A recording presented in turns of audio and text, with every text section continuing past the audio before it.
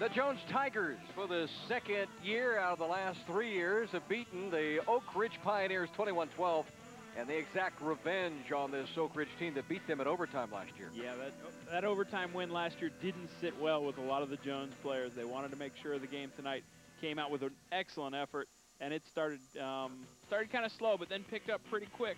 We saw running back Anthony Gay just really have an excellent game. And then a key player in the game, Richard Thomas, makes a key extra point there, and he comes back to have a, some big moments later. Here is a big hit, but a great play by Collier. Holds onto the football, almost breaks away here. Yeah, Nate Collier did an excellent job catching the ball. Only a couple of catches. Really had his big game running the ball. There's a pass interference penalty. A little bit of a questionable call coming there. One of the few times they tried to get the ball to Rogers. Draws that penalty, come back with the next couple of plays later, Anthony Gay with a six-yard touchdown run where he just beats guys into the corner of the end zone. 14 nothing halftime for Jones.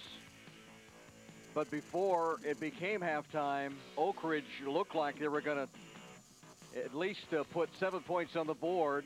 Yeah, that key guy, Richard Thomas, the kicker, decent kickoff. This was following that touchdown. Get the ball to Cox. He has to make something happen, and Demetrius Cox does. Just sees a hole, explodes right through it, and then there's one man to beat. That one man is Richard Thomas, and he has to fight off a blocker, slow Cox down somehow, wait for help. And this is the saving tackle right there.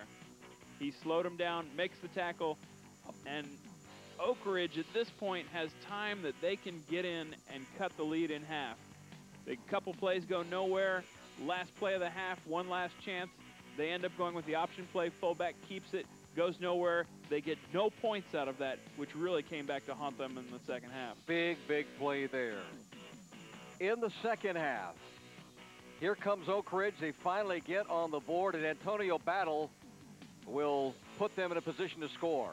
Yeah, Battle with just his big run of the night. Really didn't have much of a chance to carry the ball, but Battle broke that one big.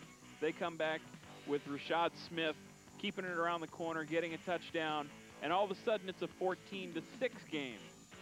Extra point gets blocked, so it's still a 14 to 6 game. And here was another key play, a punt return by Jermaine Jefferson, and watch how many fumbles on this play. Yeah, Jefferson loses the ball. Jones recovers it.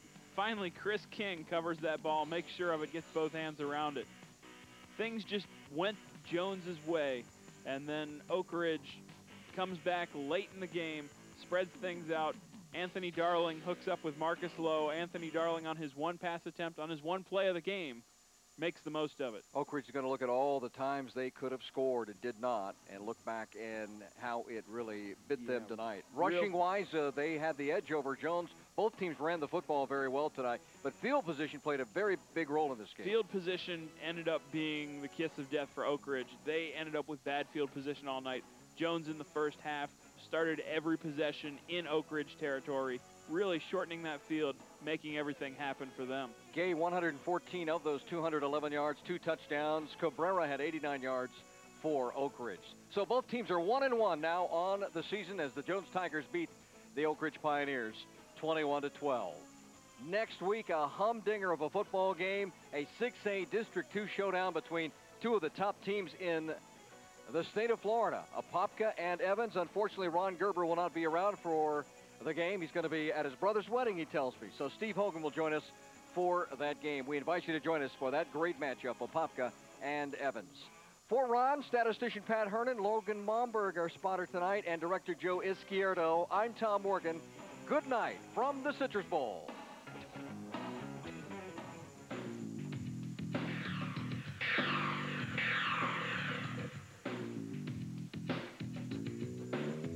The High School Game of the Week is being brought to you by Time Warner Communications. Let's get connected, Central Florida.